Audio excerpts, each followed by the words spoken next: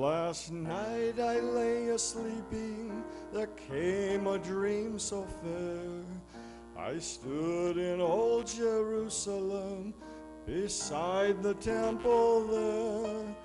I heard the children singing, and ever as they sang, methought the voice of angels from heaven in answer rang. Methought the voice of angels from heaven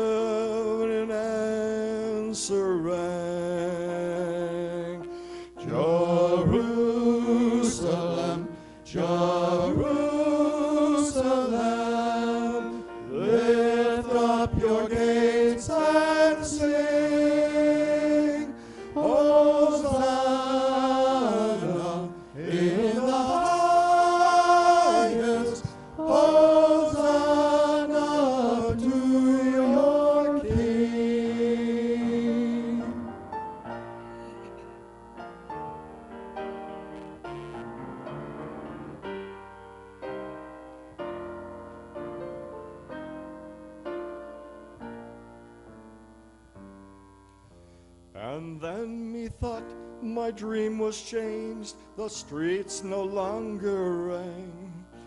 Hushed were the glad hosannas, the little children sang. The morn was cold and chilled, and the sun grew as the shadow of a cross arose upon a lonely hill, as the shadow arose upon a lonely hill. Jerusalem, Jerusalem,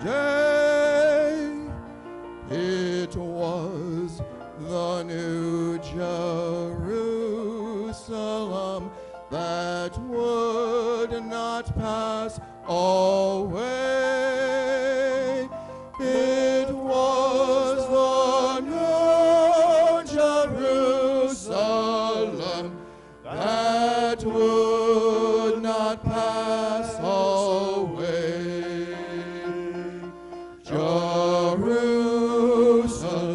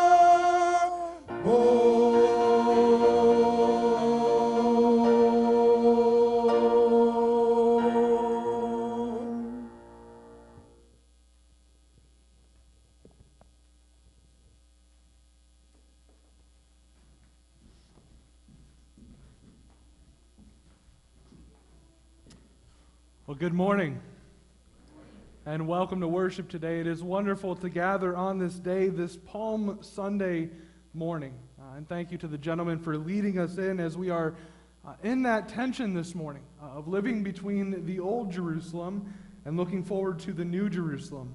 And in all of that is our Savior, is our Savior Jesus Christ. And so we come to worship and praise Him. Welcome to those of you who are visiting today. We're glad that you're here and pray that you'd be blessed in our time together. Uh, several announcements as we get started this morning. Uh, first of all, down in the fellowship hall, there is a sign up still uh, for our Maundy, Thursday service. Uh, we are looking for readers uh, to participate in that. And if you are shy uh, and don't like to read or, or don't think, well, Pastor's going to give me this nice long part, there are a lot of one line parts. and so if that is going to help you and urge you to participate, consider doing that. You can put a, a, one by your name or something but that'd be fine. Also, down there, there's a birthday card uh, for Rosella Fern. Her birthday is next week, Monday, April 5. Uh, and so we want to encourage her, uh, and feel free to sign that card this week or next week. Uh, also, want to give a, an invitation and an encouragement uh, to consider coming to the afternoon Bible study. Uh, you see in the midweek emails, you see in the bulletin that we're looking at the ever fun topic of sexuality right now. and the CRC is, is giving us this report uh, that is before, uh, before Synod next year. Uh, and so we're kind of looking at that. Uh, and these are important matters, not just for the CRC, uh, but for people's lives, for, for families, for our friends, uh, for our churches. And, and, so as we dive into a lot of different areas, we're looking at what does Scripture say and how do we care for people who might be affected by these things. One more announcement, uh, and I've been told that, that you likely know more about this than I do because it's been a thing in the past. Uh, but there is a meat sale going on right now uh, to raise money for Daniel Kabuji. Uh, and so if you are interested in that, there is money in the fridge, or there is meat in the fridge at the farm. That'd be great if there's money and just go ahead and, and take it, you know, $3 for whatever you want. Uh, but $3 a pound, uh, if you're interested, be sure to, to do that as, as we raise money for him and his ministry. Well, our call to worship then comes from Psalm 118. It brings us to the word Hosanna. Give thanks to the Lord, for he is good. His love endures forever. O Lord, save us. O Lord, grant us success.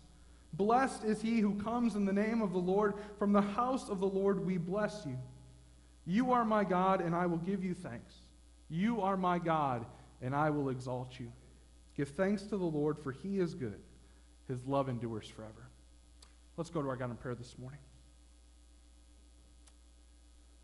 O oh Lord, our gracious God and Father, we give you thanks that you are our Savior. We give you thanks that, that as we hear again and again today, that you have come. That, Lord, there is no one else that we ought to be waiting for, but it is you. It is Jesus Christ the Lamb of God who gave himself for sinners. Lord, how thankful we are for that, for your love, for your grace and mercy. And Lord, we simply desire to praise you, to give you what you deserve. And so, Lord God, we pray that this day, that for Jesus' sake, you would cause our voices and our thoughts, our meditations, and our hearts to draw near to the crowds who praised you long ago. All this we pray in your Son's precious name. Amen. Let's stand to sing. Hosanna, loud Hosanna.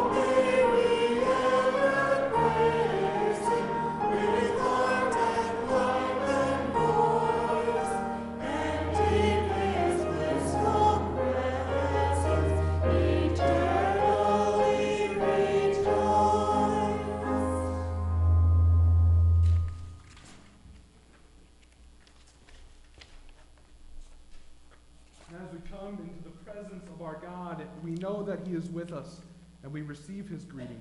May the grace of our Lord Jesus Christ, and the love of God the Father, and the fellowship of the Holy Spirit be with you all. And all God's people said, Amen. Amen. Let's continue to praise our God with clap you hands, all you people.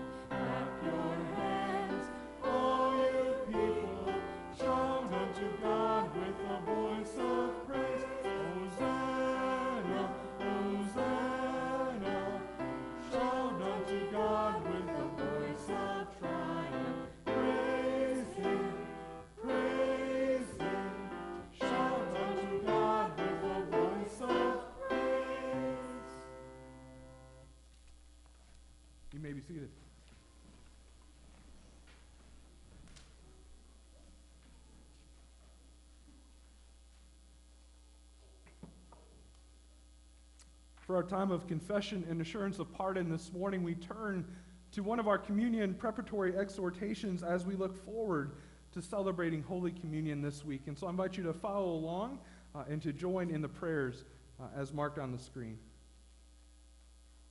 As we prepare to celebrate Holy Communion, let us remember that Scripture calls us to examine ourselves before God.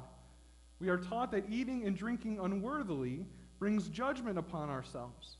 And so let us therefore ask God for the proper spirit in which to celebrate the sacrament. Almighty God, before whom can be neither secret thought nor hidden deed, grant us your spirit that we may know our hearts our lives and our inmost thoughts as you know them. Grant us your grace that we may repent sincerely of all sin, find peace with you through our Lord Jesus Christ, and grow in assurance of salvation in him. May the celebration of our Savior's infinite love in his redeeming death bring joy to us and glory to you. We thank you, Heavenly Father, for the atoning power of our Savior's death and for our share in his victory over sin. Open our hearts as we prepare for this celebration, that it may strengthen us in our faith, establish us in our hope, and confirm us in our love. In his name, amen. Brothers and sisters, let us first examine our faith. We all confess the truth of God as taught by Scripture and summarized in the creeds of the church. By this faith, we take to ourselves Christ and all his benefits, so that for us to live is Christ. Lord God, author and finisher of all true believing, confirm our faith as we prepare for this holy sacrament. Let us further examine our hope. All Christian hope rests upon the finished work of Christ as Savior. The Holy Gospel teaches that all our righteousness is in Him alone. God's children rely wholly upon the merits of Christ. They find in Him their strength and victory, and they confidently expect His return in glory. They look forward to celebrating this holy supper anew with Him in the kingdom. They will surely be received by God at His table. Most merciful Father, fill us with all joy and peace in believing so that by the power of the Holy Spirit we may abound in hope. And finally, let us also examine our love, our love both for God and for our neighbors. Remember the great and first commandment to love the Lord our God with all our heart, with all our soul, with all our mind, with all our strength. Let us consciously determine to live a life of loving service to Him through Christ our Lord. Let us also search ourselves to determine whether we love our neighbors as Christ commands. Do we unselfishly live for the welfare of others? Do our lives reflect the godly virtues of obedience, fidelity, integrity, justice, humility, and contentment? Do we seek reconciliation with our neighbors in all cases of offense? Dear Father, daily increase in us the greatest gift of all, our Christian love. If these marks of spiritual life are not evident in us, we may not presume to approach the table.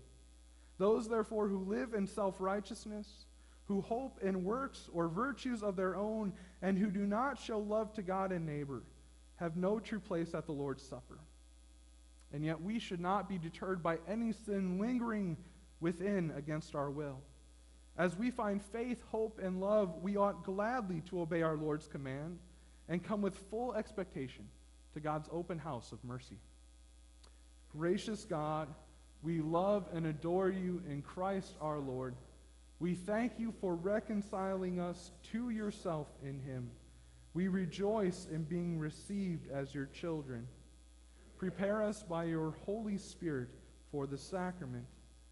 Help us to come in the assurance that by it we shall be spiritually revived and strengthened in faith, hope, and love. Through Christ our Lord. Amen. Brothers and sisters, as we continue to meditate and give thanks to God for his gift, let's sing, Come Behold the Wondrous Mystery.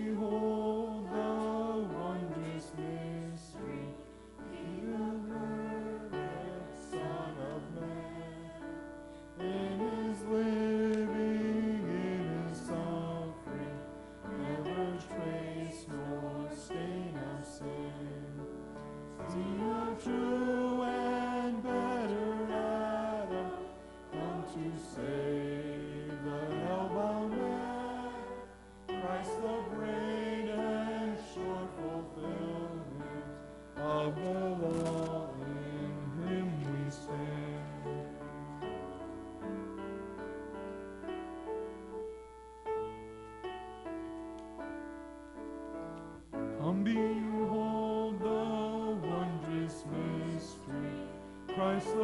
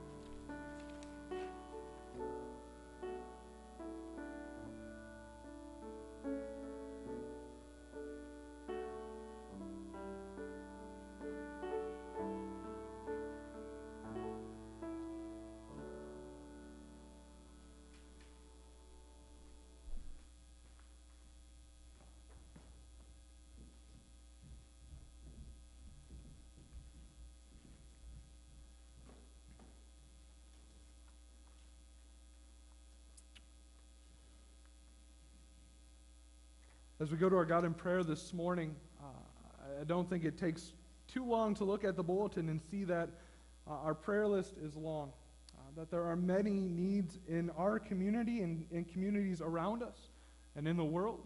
Uh, and so let's go before our God, uh, the one who hears and who cares for us.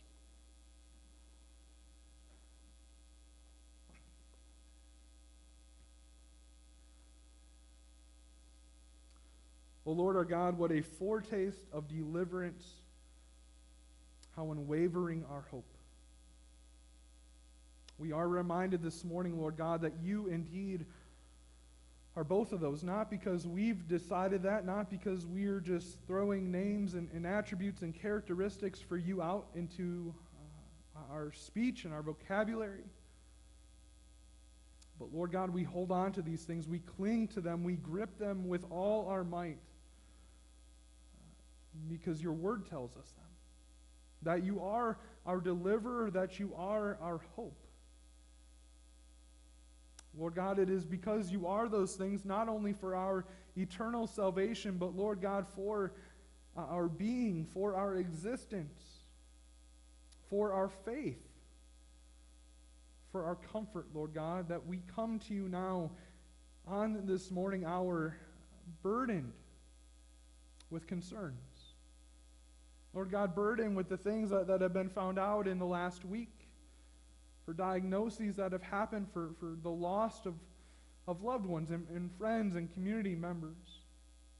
Uh, that we've been burdened as we turn on the news to hear uh, of, of natural disasters and devastation that have happened uh, across the, the southern portion of our country, Lord God, in which people have been injured and lost their lives and lost their property. Lord God, that as we have continued to listen to the news and, and look on at, at images that are, are, traveling across oceans, Lord God, we see what's happening in different parts of the world, and, and Lord, we are struck uh, in a bit of disbelief at, at, at protest and in the actions of, uh, of military and governments uh, in other parts of the world. And so, Lord God, we come with heavy hearts and heavy minds this morning before you. Uh, that as happy as we are and as joyful as we desire for this day to be, to praise you for who you are and what you do. Uh, Lord God, we are in this tension of the Holy Week uh, when you gave yourself even unto death. And so, Lord God, we pray that you would hear our prayers this morning, that you would look favorably upon those who are struggling with illness, who are struggling with sadness, who are struggling with grief right now. Lord God, as we think not only of Al this week and of Mary Claire this week, but Lord God, as we also think of Jody and of Raquel, and the diagnoses of each of these men and women for uh, cancer in various forms. Lord God, we give you thanks that, that for all of them, there are potential treatments. And while treatment doesn't necessarily mean cure, that everything will be fixed, Lord God, there are medical interventions that you have given to us. And Lord God, we pray that, that through those means that you will work and, and in your miraculous power, Lord God, that you would bring healing, that you would extend life, that you would enable each of these and their families, Lord God, to turn and depend on you for their strength. Lord God, we lift up to you this morning the, the Sabelco family from the, the school. Uh, and Lord God, we give you thanks for the birth of a baby and, and for Caleb, but Lord God, we pray too for, uh, for his health. Uh, Lord God, as he was born extremely early, Uh, and Lord God, as he is small, and, and Lord God, there are things that, that have transpired in the last week that have been cause for concern and, and great fear of, of what may happen. And yet, Lord God, there have also been signs of your miraculous work in healing. And we pray, oh God, that that would continue, that you would give him life, and that you would surround this family with your love. We pray this, Lord God, this morning for those who are going through different struggles, different times of waiting, uh, with different difficulties, whether they be at work or school, Lord God, and, and uh, interacting with coworkers and friends. Lord God, we pray for healing among relationships. We pray for, for justice where, where faults have been done. Lord God, we lift up to you uh, the Bulls as, as they continue to, to heal and, and to deal with the effects of COVID. Lord God, and we pray that you would be with them and, and pray for uh, their, their families as well, Lord God, that, that as we've gone through this, uh, we've seen COVID in our midst in the last couple of months. Uh, Lord God, we know that it is not an easy journey for, for every person, and so, Lord, we pray that you would bring healing and comfort and draw people near unto you. Lord God, we pray this morning for, uh, for our brothers and sisters in uh, the church in, uh, in Minnesota who are from Southeast Asia. Uh, Lord God, for Pastor Foe and for his flock as, as they think about their family members and their friends and, and others who, who love God in their homeland and, and where they came from. Lord God, we do. We think of what's happening in in Myanmar, and, and Lord God, for, for the, the cruelty, for the violence that's happening there. And Lord God, we feel thousands of miles away, rather helpless to do anything. Uh, and Lord God, we, we don't know much about what to say or, or how exactly things should be done or, or, or what this answer is, what all the, the situation entails. But Lord God, we pray for them. Lord God, who have loved ones who are experiencing fear uh, who have been pushed out of their homes, Lord God, who are fleeing away into jungles without shelter. Lord God, they aren't just going out on a camping trip, uh, but Lord God, they are fleeing for their lives. And so we pray, oh God, that, that you would bring comfort to the midst of, of anxiety and worry. But Lord God, we pray that, that you would bring an end to the violence in that part of our world. Lord God, we pray too for the surrounding countries that they uh, would help citizens who are fleeing, Lord God, that they would support them and give them what they need. Lord God, we continue to lift up to you this morning those who are, are going through various ailments uh, that have not been mentioned. Uh, Lord God, for Andrea, she continues to wait for, for back surgery. Uh, for others, Lord God, for Rosella and Nancy as they uh, continue their lives and their days in uh, the care center and in the apartments. Lord God, we pray that you'd be near unto them, and we give you thanks for the, the lightening up of restrictions over there to allow uh, for, for more visits to happen. Uh, Lord God, we give you thanks for uh, just the, the renewal and, and the burst of excitement and energy and hope that that gives to those relationships. Lord God, we pray now that you would continue to be with us. Lord God, if, if we are not among those who uh, have been mentioned in this prayer, we may feel that um, our lives are, pretty simple and easy, or our lives are being ignored, and yet, Lord God, we know that is not the case. That you do not ignore us. But, Lord God, you pray, or you teach us, rather, that we would weep with those who weep, that we would mourn with those who mourn, that we would rejoice with those who rejoice. And so, Lord God, make us able to do that this day and in the week to ahead. All this we pray in your Son's precious name. Amen. Does someone want to invite forward the boys and girls for our children's message?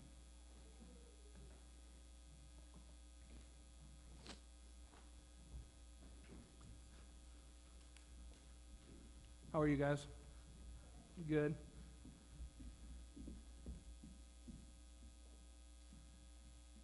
Well, guys, I forgot my paper. That's not good. All right. We're going to do something special today. Does that sound good? We're going to have a parade. You up for that? Yeah. All right. Yeah. Someone is shaking their head. That's not exciting. All right. Do you guys know what day it is? It's not Easter yet. Palm Sunday. That's Palm Sunday, all right? So uh, this is the beginning of the week in which we are. We're looking forward to Easter, but something happened first in the Bible. We're going to hear in a few minutes how uh, Jesus, when he was coming to Jerusalem, uh, went and he told his disciples, two of them, to go and fetch him a colt that would be tied up in a village, uh, and he was going to ride on that. Uh, and where palms come in is in what happens next. Uh, Matthew tells us in his gospel a very large crowd of people spread their cloaks. They spread their coats all on the road, while others cut branches from the trees and spread them on the road. And these people went in front of Jesus and his disciples, and they went behind them, and they shouted the words that we've said a few times today Hosanna. Do you guys know what Hosanna means? Any ideas? Brooks, no. You sure? Nah. Hosanna means save. It's a way to praise someone who has saved us. Uh, and so Luke, the one whose book we've been following and reading in the Bible, says that the whole crowd of disciples began to joyfully praise God in loud voices for all the miracles they had seen. And, and so Jesus, when he came, he really meant something for them. Uh, we don't know exactly what they understood or what they believed at that time. They definitely didn't know what was going to happen in just a few days, that Jesus was going to be put on a cross. But right now, they knew that he at least deserved this, that this was a sign that Jesus was a king for them. Uh, and, and, we know that, that Jesus never sat on a throne or, or, got a crown here on earth, right? He didn't have that. Uh, and yet we know that he is in heaven where he's on a throne right now. And when he returns, uh, we get the hope that, that he's going to be the king forever, and we'll get to praise him if we've believed in him. But right now, today, you see, I have more of these, right? Can each you guys take one of these? I'm going to tell you what we're going to do. You want two? All right. You're good. We got plenty. All right. Brooks, you want one? Here you go, dude. All right. So, what we're going to do in a moment is there's going to be a video that plays, and we're going to sing along with it. And I want you guys to follow me. I want you to try and sing, but if you don't know the words, that's okay. But we're going to we're going to wave our palm branches as we go, okay? And this is how the song goes. Hosanna, Hosanna, Hosanna in the highest. Hosanna, Hosanna, Hosanna in the highest. Lord, we lift up your name with hearts full of praise. Be exalted, O Lord my God. Hosanna in the highest. All right, so we're going to have that song. There's going to be a video playing with that. And we're going to go and we're going to walk through here a couple times. And then we're just going to stand across the pulpit, okay? And when we're up here, I just want you guys to wave our palm branches. And when we get up here, I'm going to ask the congregation to join in the song. Does that sound good? So you guys won't be singing by yourselves? All right. Go ahead, Owen, if you would, and we'll get started. Come on, let's stand up, okay?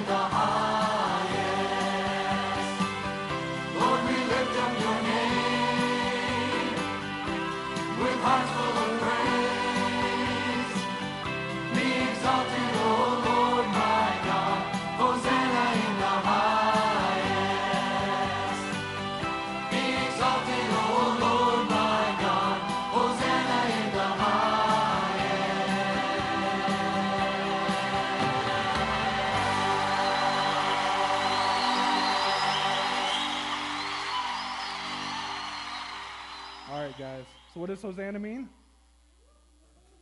Savior. Very good. That's what we're thinking about. All right, let's pray together, okay?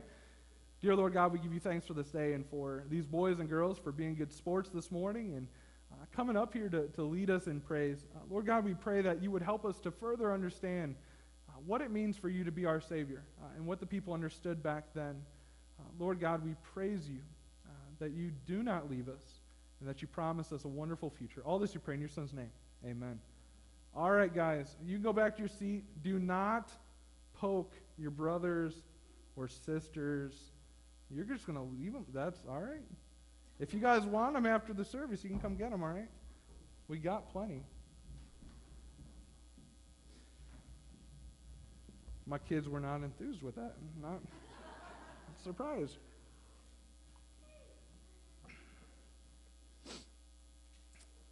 All right. Well, I invite you to turn in your Bibles this morning to Luke 19, to this familiar event, the triumphal entry. Luke 19, verses 28 through 44. Uh, and as joyful as we usually think about this passage and this event being, uh, Luke's account ends on a rather serious note uh, and a rather somber ending uh, as Jesus approached Jerusalem. Uh, and so we'll be looking at that too. Let's hear the word of the Lord. After Jesus had said this, he went on ahead going up to Jerusalem. And as he approached Bethphage and Bethany at the hill called the Mount of Olives, he sent two of his disciples, saying to them, Go to the village ahead of you, and as you enter it, you will find a colt tied there, which no one has ever ridden. Untie it and bring it here. If anyone asks you why you are untying it, tell him, The Lord needs it. Those who were sent ahead went, and they found it just as he had told them. As they were untying the colt, its owners asked them, Why are you untying the colt? And they replied, The Lord needs it. They brought it to Jesus, threw their cloaks on the colt, and they put Jesus on it. And as he went along, people spread their cloaks on the road. When he came near the place where the road goes down the Mount of Olives, the whole crowd of disciples began joyfully to praise God in loud voices for all the miracles they had seen. They shouted, Blessed is the King who comes in the name of the Lord, peace in heaven and glory in the highest. Some of the Pharisees in the crowd said to Jesus, Teacher, rebuke your disciples. I tell you, he replied, if they keep quiet, the stones will cry out. As he approached Jerusalem and he saw the city, he wept over it. And he said, If you, even you, had only known on this day what would bring you peace, but now it's hidden from your eyes.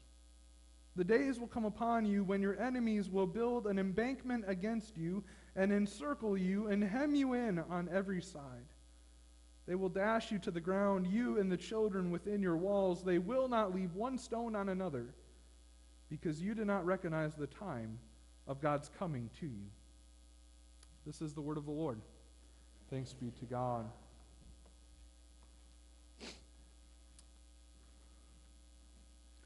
Well, brothers and sisters in Christ, what would you do? Or how would you act if you knew that someone with power or a celebrity or someone you admire was coming through Baldwin or Woodville or Hammond on their way to the Twin Cities, and you knew they're going to stop at that Kwik Trip on the interstate? Uh, what would you do? Uh, would you go out and, and say, well, maybe I'll get just a glimpse of them? Maybe I'll get to take a selfie with them. Maybe I'll get to shake their hand or hug them if we aren't under quarantine. Maybe we'll talk with them. Maybe we'll get their autograph. And maybe you think to yourself, well, it, it depends on the person, right? It depends how I feel towards them. Uh, if it's the president at the time and I didn't vote for them, well, I could care less if they're here or not. I'm not going to go see them. Uh, but if it was the president you voted for, If it was your favorite actor, your favorite singer, your favorite social media vlogger, maybe you showed up that day as early as you possibly could to see that person. And part of me wants to say, well, who cares, right? We're, we're not shallow like that. I mean, they're just other people. That's no big deal. And yet, I remember uh, last summer, two summers ago rather, when this train came through town. Uh, and if you were there, as I know some of you were along with me, there were huge crowds that gathered around. Right? People came out and they cheered it on. They stood in awe. They saw how close they could get. Could they get the best picture of the big boy steam locomotive? And if we did that for a train, I'm sure a celebrity would draw at least that much attention. Well, last Sunday, we jumped ahead in the account of Jesus' final week. We jumped to Thursday night and into Friday morning when Jesus was on trial before various leaders. And we're going to return to that part of the account later this week when we meet on Thursday night. And we're going to be reminded again that Jesus was mocked and ridiculed and insulted. We're going to remember that, that he was beaten by soldiers and, and scoffed at by them and by the religious leaders, that he was scoffed at by those who, who likely were spectators, and he was scoffed at by at least one of the criminals on the cross. What a striking difference there is between those events and where we're at today. What a striking difference in treatment that Jesus received at the end of this week compared to the beginning that the respect and the reverence, the awe, the honor that Jesus is owed was stripped away. But not this day. Not as he made his way to Jerusalem. And so, our first point this morning what's going on here? Well, the Lord and the King has come. If there's any confusion for those of us who are reading the Gospel of Luke about who this is, who Jesus is, is representing, uh, Luke cuts through any of that and he tells us Jesus is the Lord and the King. And that shows up in our very first verses that Jesus told these two disciples to go to the village to get this colt, and if they're questioned, just tell them the Lord needs it. And if you were following closely on the screen or in your Bibles, you likely noticed that the word Lord has a capital L. That's in the NIV, that's in other common translations as well. It shows up in verse 31, again in verse 34. And what that tells us is that the translators are recognizing it as a proper noun, as a proper name. And that is, is only used about one thing, and that is the Lord God, right? The Holy One, the one true God. It's not just uh, about owners or, or property uh, managers, it's not just about masters that, that may hold that title. Now, maybe you wonder, though, well, how can they make that differentiation? I mean, that doesn't come to us all that easily through the Greek. Uh, and, and I wonder that too. Well, at least part of it goes back to, to what Luke writes. That if you see in, in, in the verse up there, you find that the Greek word that Luke assigns to the owners of this donkey is the very same word, kurios. It's this word that means Lord. And so he recognizes that, yes, they are the lords of this donkey, but the Lord needed it for his mount. It's not a mistake. That is what they're talking about. The word kurios is used over a hundred times in the Gospel of Luke alone. It's an extremely common word. And again, the majority of those refer to the Lord God. And he's telling us that this is who Jesus is. The Lord has come. Again, the word Lord also shows up in verse 38, where we find our other identifier here that he is the king. The Palm Sunday crowd was shouting, Blessed is the king who comes in the name of the Lord, peace in heaven and glory in the highest. And the Greek word for kings and kingdoms is the word basileus or basileus. Uh, unlike kurios, which is used all that frequently, uh, this word is not used frequently. This is the first time that the word king is applied to Jesus in the Gospel of Luke. Uh, and, and thereafter, we find it when Jesus is in his trial. And, and so, for the Jewish religious leaders to, to accuse Jesus of claiming to be a king, for, for the Sanhedrin to pass that along to Pilate, that he is now the king of the Jews, for that to make its way into the soldier's mouths and on the sign on the cross seems to come back to this event. This event that Jesus told the Sanhedrin or the Pharisees that he would not quiet the crowd. Again, as I told the boys and girls, Jesus is the king who's reigning right now in heaven, and he'll do so forever. Uh, but to name Jesus as the king here in this setting uh, is, not to say, well, he has to have a throne on earth. But it has us look back further to the Old Testament. Again, maybe you know it's, it's in every gospel. There's a footnote on this passage to go and look at Zechariah 9, verse 9. And this is the fulfillment, we believe, of this verse. The word of the Lord was given Rejoice greatly, O daughter of Zion. Shout, daughter of Jerusalem. See, your king comes to you, righteous and having salvation, gentle and riding on a donkey, on a colt, the foal of a donkey. And for those of you who are wondering, well, what's the Hebrew word for king? It's the word melech. That's how you pronounce that fun arrangement of symbols up there that I, I hate looking at, but Again, you think about all that Jesus went through in the week ahead. Maybe as, as we would be original readers of this gospel, people living in the years and in the decades immediately after this happened, maybe if we heard the name Jesus, all we would think about is what happened at the end of the week. The terrible events, the tragedy that, that a humiliated guy was simply executed on a cross. And yet, Luke tells us by way of the Holy Spirit to not forget about this event, to not forget about what has been made clear on this day in Luke 19. Whether or not the crowds actually understood what they were saying or just repeating what others had put forth does not change that this is the truth. That Jesus is the Lord, associated with the Holy One of God, and He is the King. He is the righteous one, and he has salvation with him. No one else can be honored like this. The King and the Lord has come. Well, what does that mean for us? Well, we move on to our second point now. We owe Jesus our rejoicing. We owe Jesus our rejoicing. Again, you see those first two lines of of Zechariah 9 9. Rejoice greatly, O daughter of Zion. Shout, the daughter of Jerusalem. And those words, you, you can quite easily see if you know your Old Testament, uh, are about Israel. Right? It's about the covenant Jews. It's about God's people. In the Old Testament, they had been judged by God because of their sin, because of their rebellion. But one day, the prophets tell us a, a king will come a king will be restored to the throne of David, and they are to praise that king. And they were given prophecy after prophecy before and throughout and after their invasions and their captivities to know that God had not forgotten them. He had not left them or forsaken them. Now, certainly they, they might have wondered, well, when is he going to come? There's 400 years in between the Old and New Testament period. Where is this king at? And yet, if they went back to their prophets, they were to know that the king will come. Be ready for him.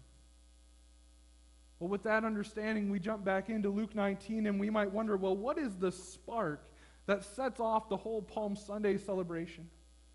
Was this really something that they saw in Jesus, or, or was this just part of the Passover joy that, that every year they'd do something like this? On this day, they'd have this big parade with palm branches and cloaks and someone on a horse or a donkey. Well, Luke tells us in verse 37 the whole crowd of disciples began joyfully to praise God in loud voices for all the miracles they had seen. There's no question, this parade, this entry is all about Jesus. He's not just one piece in the parade. He's not just one float or one thing to, to gawk over, but it was his parade. It was his triumphal entry. But this parade wasn't just for the Old Testament people and nation of God, though. And what I mean by that is, is that we are to contribute our voices to join theirs. We don't want the stones to have to cry out because there is silence and no recognition of Jesus. We must not and we will not be silent about our praise to Him for what He has done and what He will continue to do. Brothers and sisters, worship, our, our response of praise, our sacrifice of thanksgiving is a duty for us as Christians, for the redeemed of the Lord. It's something that ought not to be constrained to church buildings and to pews or constrained just to Sundays and holy days. It isn't something that requires us to stand still and, and rigid. Again, Jesus was asked to rebuke his disciples, likely because of what they were saying. He shouldn't be being called the king because they didn't see him that way. But the Pharisees, of course, also didn't like anything of what was going on there. They saw the way the people were going after Jesus, the other Gospels tell us. They saw the excitement and, the passion of this crowd being drawn to him. And yet, what those crowds were doing is something for us to imitate. I want you to think back with me, or if you want, look in your Bibles to 2 Samuel chapter 6. In 2 Samuel chapter 6, we find that David uh, is bringing up a celebration because the Israelites have brought back the Ark of the Covenant from the Philistines. And King David, we're told, was so excited that he danced in a linen ephod before the Lord with all his might, while he and the entire house of Israel brought up the ark of the Lord with shouts and with the sound of trumpets. If you know this story, you know what happens next. You know that his wife was not too happy. His wife called him vulgar, in fact, or, at least implied that. Uh, and then David responded, It was before the Lord. I will celebrate before the Lord. I will become even more indignified than this, and I will be humiliated in my own eyes. Bringing up this issue of being dishonorable, he says, But by these slave girls you spoke of, I will be held in honor. Now you're thinking, well, Pastor Dan's about to implement some dancing in, in worship services, and, and that's not my plan. Um, not a big dancer, unsurprisingly. Uh, don't enjoy it, don't like to do it at weddings. I'll slow dance, but that's about the extent of it. But I'm not saying uh, that Christians must dance in worship services. I'm not saying that you can't be a Christian if you choose not to dance. But what I do want us to see is, is that praising God, celebrating before Him and for Him, is what we are to continue to do today. If we are truly grateful for what Christ has done on the cross, truly grateful for, for what the Holy Spirit is up to and, and being given to us and sanctifying us, if we're truly grateful that, that we can look forward with a certain hope towards what is to come, then, brothers and sisters, we can't help but, but tell and show and shout and sing to God. Even if others at times might perceive what we're doing as being humiliating. But our answer has to be the same as David's. It's not about us, it's about the celebration for the Lord. And so we bring the children up here this morning, we wave these palms around, and, and maybe they thought that was silly as my kids did and, and hate their dad now because of that, but, but we can do that. And we can raise hands up for the Lord. We can stand still for the Lord as well.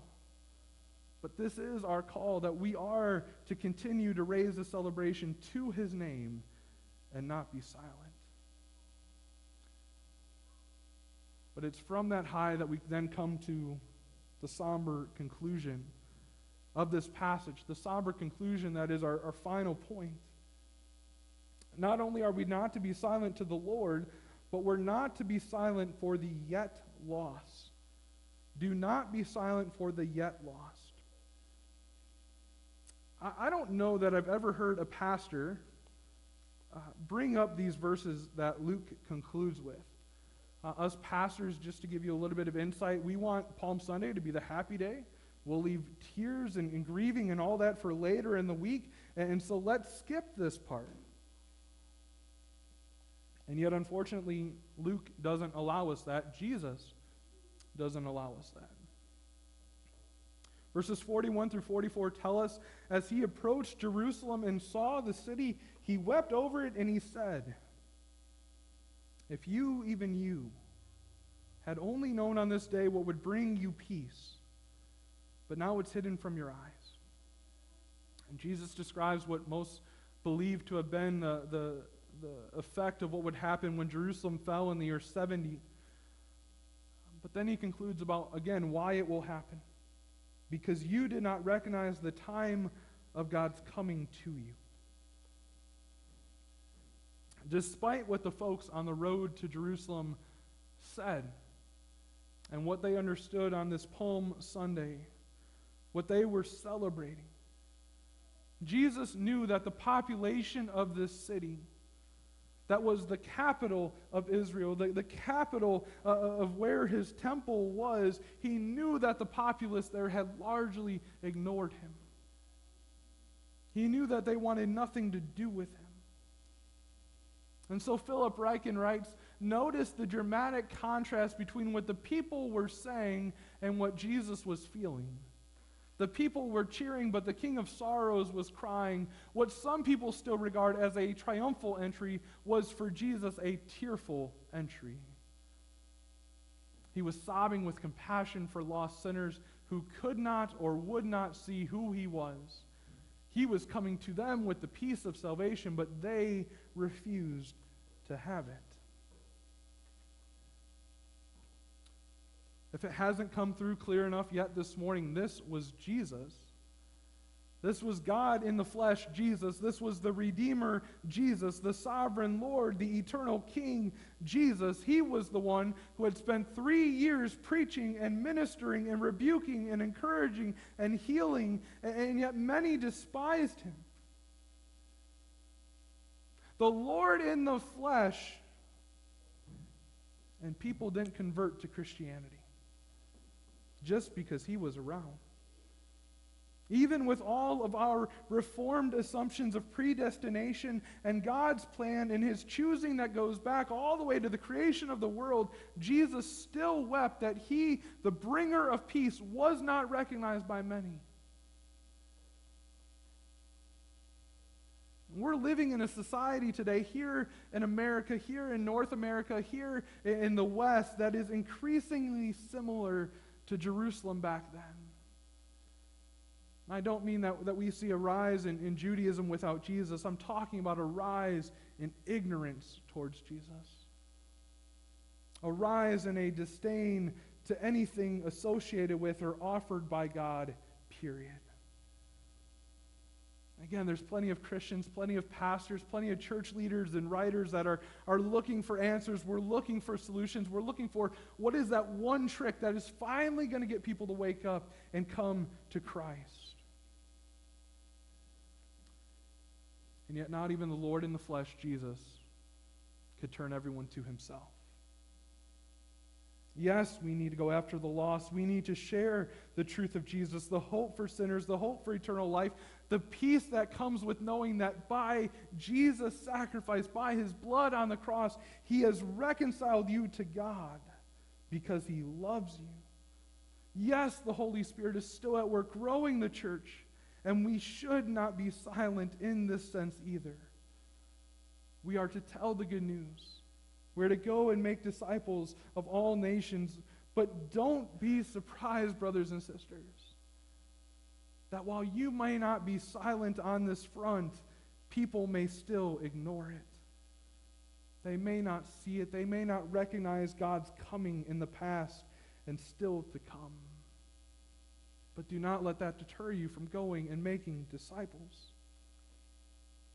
The 19th century English Anglican Bishop J.C. Ryle wrote on this passage We know but little of true Christianity if we do not feel a deep concern about the souls of unconverted people. A lazy indifference about the spiritual state of others may doubtless save us much trouble. To care nothing whether our neighbors are going to heaven or hell is no doubt the way of the world. But a man of this spirit is very unlike Christ. If Christ felt tenderly about wicked people, the disciples of Christ ought to feel likewise. Brothers and sisters, may our faith not be just about me and Jesus. May it not just be about knowing intellectually the right things and, and praising God. Again, we have to do that. We should do that. We should take joy in doing that. But we must also care, genuinely care for our neighbors, for their souls, for their eternal destiny. Let us not leave people having never had the opportunity to hear the love of Jesus, the truth of Christ, the only Savior. And as it's appropriate, may it cause us to weep as Jesus wept. And may we not be silent until Jesus comes again. Amen. Let's pray.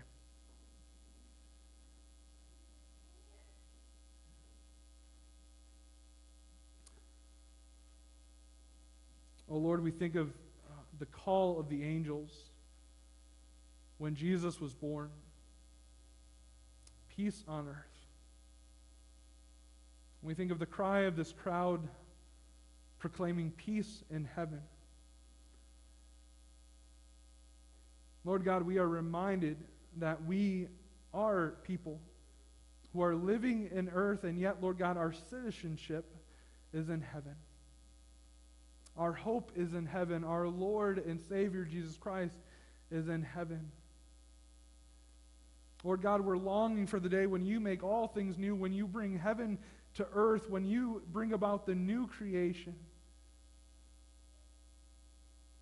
But Lord God, for now we are here. We are in this place that you came down to. We are in this place where you were rejected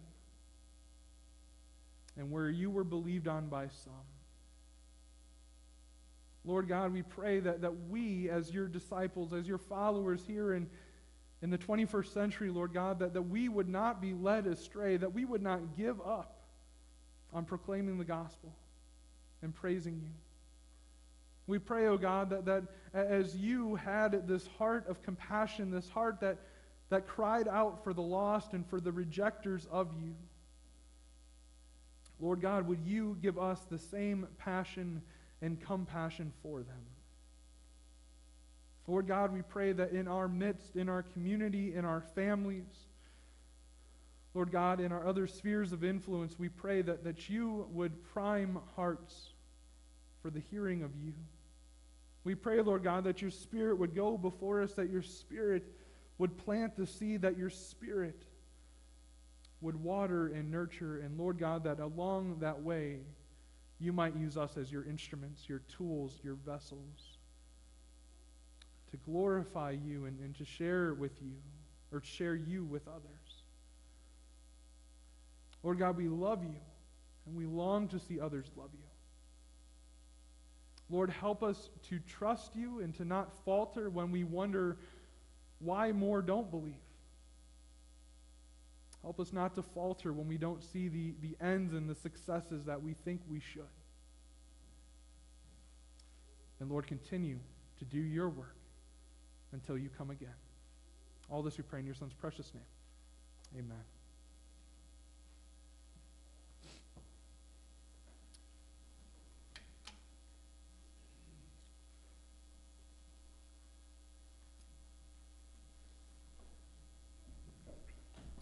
Our song of response, let's stand to sing.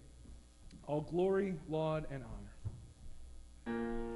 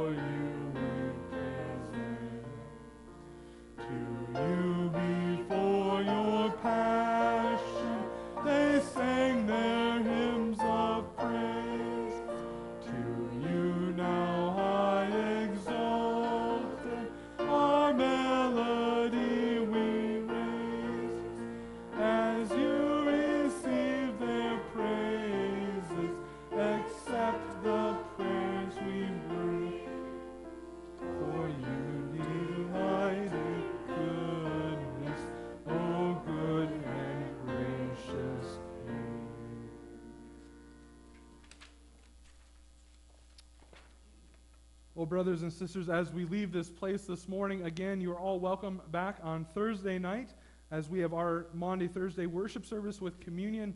Uh, and on Good Friday, there is a, a community wide service that has been recorded. Uh, and so be sure to look online for that. More details will come uh, in the midweek bulletin. Uh, and then we come together again uh, on Easter Sunday to celebrate the resurrection of our Lord and Savior. But as we go from this place, looking to the week ahead, go with this blessing. The Lord bless you and keep you. The Lord make his face shine upon you and be gracious to you. The Lord turn his face toward you and give you his peace. Amen. We close this morning with, and all the people said, Amen.